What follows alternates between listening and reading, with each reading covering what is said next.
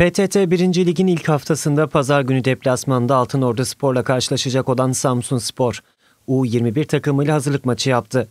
Nuri Hasan tesislerindeki provayı 5-0 kazanan Samsun Spor iyi durumda olduğunu gösterdi.